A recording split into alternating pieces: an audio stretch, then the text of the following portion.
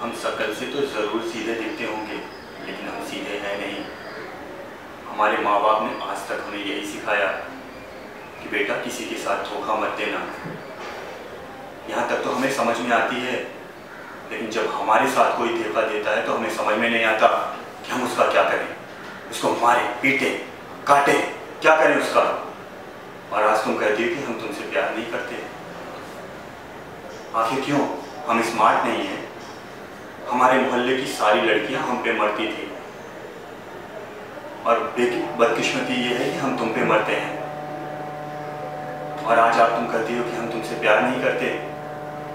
और, और कहती हो कि हम आपके हैं कौन?